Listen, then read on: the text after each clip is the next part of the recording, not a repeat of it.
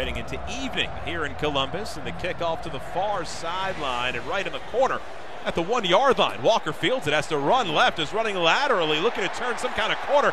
Stiff arms inside the five yard line, able to turn it upfield, cuts back at the 15, 20 yard line, cuts back again. He's got one man to beat that is taken down at the 43 yard line. If not, that would have been a 99 yard kickoff return for a touchdown.